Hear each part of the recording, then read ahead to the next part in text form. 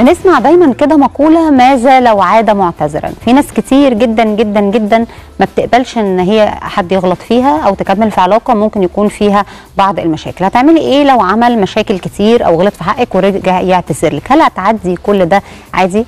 هل نقول اللي حصل حصل ونرجع نكمل عشان الحياة تمشي ونرجع نرجع العلاقات زي ما كانت وتبقى زي بدايتها بالظبط ومفيش مشاكل؟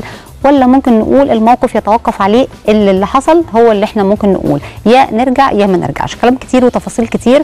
هل أنت هتقبلي ولا لأ؟ هنعرف النهارده من ضيوفنا الكاتبة آية عبد القادر وبتول محمد صناعة محتوى. أهلا بيكم أهلا. بحضرتك زي ما أنا قلت كده دايما بنسمع ماذا لو عاد معتذرا؟ آه عايزه أسألك أنت الأول تقبلي ولا لأ؟ هو على حسب الموقف بس المعظم مش حاسة إن أنا هتهاون معاه الصراحة لأ مم. مش في كل حاجة بصي أحيانا في في علاقات الخطوبة وفي العلاقات الأولى آه والناس المقبلين على الخطوبة أو المقبلين على الزواج في الأول خالص أيوة. ممكن يكونوا واخدين الشكل إحنا لسه بنتعرف يعني إحنا على البر في ناس. كتير بياخدوا الموضوع بشكل تاني إحنا بقينا واحد وعيلتنا واحدة وعندنا عيال تفاصيل كتيرة جدا فممكن أيوة. يكون ده بيخليهم يتهاونوا أي عايزه أعرف رأيك؟ أنا مع حضرتك في ال point دي يعني هو ال depends حسب إحنا في أنهي- إحنا في أنهي في مرحلة. مكان. آه إحنا. في أنهي مرحلة. إحنا مخطوبين إحنا لسه بنتعرف إحنا متجوزين إحنا كنا متجوزين أو إحنا اتطلقنا ومعانا أولاد فالديبندز على كده. وديبندز برضو إحنا سيبنا بعض ليه. مم. أو هو سابني إحنا سيبنا بعض بطريقة عاملة إزاي؟ مثلا مشاكل خلافات محاكم أو سيبنا بعض بطريقة ود. فهي دايما واقفة على إحنا سيبنا بعض إزاي وإحنا فين دلوقتي؟ يعني إحنا طيب في في مشاكل أو في علاقات بتوصل للسب والشتيمة وحاجات يعني ممكن الست تتأذي فيها نفسيا جدا جدا جدا. في ناس بتتهاون ده عشان خاطر ولادها. تقول لك أنا هعدي واللي بينا كتير. إيه رأيك في الستات اللي ممكن يعدوا السب. والقصف والشتايم والحاجات الصعبة دي؟ لأن هي عمرها ما هتنسى الإهانة دي. الاحاسيس اللي حسيتها ولما حصل لها كده هي مش هتنساها مم. العلاقة حتى لو رجعت لا مش هت مش هتستمر. بتقول إيه رأيك؟ أنا برضو شايفة نفس الموضوع يعني في ناس كتير قوي تقول أنا هكمل عشان ولادي مش عشان ولادي مم. طب ما هو ممكن ننفصل بشكل محترم وبرضو عادي الدنيا تبقى تمام أحس إن ممكن أصلا لو انفصلوا عن بعض هيتعاملوا أحسن وهما موجودين مع بعض إحنا نكمل وخلاص وهي مم. حياتها بجد واقفة بحس إن في ستات كتير قوي بتتظلم بسبب الموضوع ده أحيانا بنشوف دلوقتي في مجتمعنا إن الأهالي ساعات بيضغطوا جدا جدا على الطرف الثاني اللي هي الست أو البنت إن هي تكمل عشان الحياة. مش هينفع من غير راجل وعشان البيت وعشان الأولاد وحاجات تانية كتير. بعيدا طبعا عن الحب أو ممكن يكون أنا باقي عليه أو مش باقي عليه الأهل ساعات بيبقى ليهم ضغوط أو وسيله ضغوط ده كده. بشكل آه باين جدا على جدا. الست. خصوصا على الست وخصوصا كمان في مجتمعنا وده بس في آه الناس مجتمعنا هتقول إيه إن إحنا آه إيه. إحنا إحنا مش عايزين نواجه الطلاق ومش عايزين ومجتمعنا طبعا ما بيشجعش على الطلاق وكلام كتير جدا. رأيك إيه في الأسر اللي ممكن يضغطوا على ولادهم أو بناتهم آه عشان ما يخربوش البيت أو ما يطلقوش. لا أنا رأيي إن هي لما بترجع لهم هترجع لهم تاني بموقف أسوأ. أنا شايفة أصلا أنتوا الاثنين بايعين. خالص. لا أنا شايفة قرارات بايعين خالص.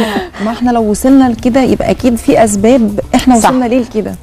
طب أنا عايزة أسألك برضو يا آية قصة إن اي البنت دايما دايما أي بيت مقفول عليه بيبقى فيه مشاكل كتيرة جدا جدا بقينا واحد. فيه ممكن تكون حاجات مختلفة ممكن يكون عنده طباع مختلفة أنا مش متقبلها ممكن يكون أنا عندي طباع مثلا مختلفة عنه هو مش متقبلها. بنقعد كده متأرجحين لحد ما بنوصل لنقطة الرضا. تمام. عشان أوصل لنقطة الرضا دي أكيد بتعب بشكل كبير أو أكيد بعدي على مراحل كتير ممكن تكون تعبتني ممكن تكون تعبته. بس في ستات أو بنات كتير جدا أو أي حاجة تحصل أيوه يا ماما أصل حصل كذا أيوه يا بابا أصل حصل كذا أيوه يا أختي أصل حصل يعني. كذا بيبقوا عندهم شكوى بشكل. كبير فالموضوع بيبوظ أكتر لأن طبعا لو هي نسيت الأهل مش هينسوا. مش هينسوا. صح. فأنت آه. رأيك في إيه في القصة دي؟ خصوصا إن إحنا ما بقاش عندنا طاقة تحمل. آه أنا رأيي لو ماذا لو قعد معتذرا؟ اولا لازم أقعد مع نفسي الأول وهشوف أنا قادرة أسامحه قادرة أكمل تاني قبل بقى ما أدخل أهلي أو أو حتى لو عندي ولاد أو بتاع. أنا لازم أقعد مع نفسي وأصارح نفسي. هل أنا اصارح نفسي بعيوبي إحنا سيبنا بعض ليه؟ آه، أشوف هل أنا قادرة أكمل مع الشخص ده فعلا وأفتح صفحة جديدة؟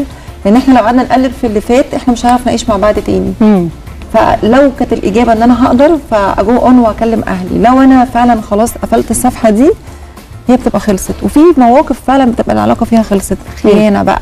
طبعا. الست مش بتغفر الخيانه بس هي طبعاً. المفروض تعرف طبعه أصلا من الأول وعيوبه وعيوبها. لازم نعرف كل ده أصلا قبل ما ندخل مع بعض في علاقة. يعني بندبس ليه بس خليني في لك- حاجات بتبان خليني. أقول لك آه أنا أنا رأيي زيك إيه جدا. بجد هو ال- ال- ال- مش بصي أنا دايما. بقول إن في حاجات في الجواز أقوى من الحب. كلنا بنحب وكلنا اتحبينا وكلنا آه. بالظبط. وكلنا بنحب وكل الكلام ده. بس دايما إحنا نقول الموده والرحمة. دايما نقول الموده والرحمة أقوى من الحب. الحب الحب ممكن يكون حالة وتعدي. تعدي، خلاص. في البدايات ممكن تكون الحب ده موجود وبيعدي. اللهفة بقى اللي في الأول الكلام الكتير البدايات كل الكلام ده طبعا جميل جدا جدا بس بيبقى في الآخر بعد الجواز الموده والرحمة. فدول أعتقد أهم. طبعا من الحب وهم دول اللي بيستمروا. صح دي حقيقة. إحنا عرفنا رأيك وعرفنا رأي بتول وعرفنا رايي هنروح نشوف رأي الناس في الشارع ونرجع نكمل فقرتنا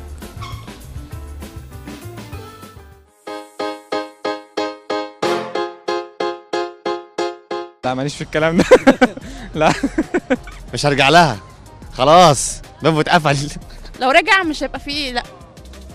مش هيبقى زي الأول. ما يقعدش لا. لو اعتذرت آه، كويس بالصورة المطلوبة يعني هقبل عادي. خلاص ارتبطت بواحدة جديدة. أكيد مش هسامحه يعني. طبعا طبعا طبعا مش هسامحها.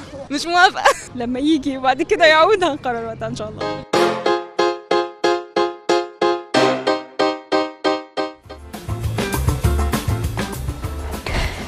سمعنا رأي الناس في الشارع ودايما بقى فيه أقاويل متضاربة. عايزة بقى أسألك الراجل اللي بيعمل مصيبة كل فترة وفترة ويجي يعتذر. اعتذار بقى كبير جدا جدا وما أقدرش أعيش من غيرك ومسجات ورسائل وحاجات كتير قوي. وأنا ما أقدرش أعيش من غيرك. وطبعا الود اللي بينهم والحب اللي بينهم والرحمة اللي بينهم والألفة اللي بينهم في الجواز ممكن تخليكي تتنازل، أيوة. تتنازل وتغفر وخلاص. هو اتأسف لها بشكل كبير جدا وبيشتري خاطرها. رايك إيه في القصة دي؟ بس حاسة إن لو كل مرة يعني الموقف حصل أكتر من مرة حاسة إن خلاص هو رصيده عندي هيخلص. مم. يعني ممكن أسامح مرة واثنين وثلاثه بس بعد كده أحس إن أنا لأ. طب ما أنا هنت عليك مرة واثنين وثلاثه طب مم. ليه أنا أسامح وأنت ما تفكرش فيا وأنت بتعمل الموضوع ده؟ فحاسة إن هتيجي وقت وهقول لأ. صعب قوي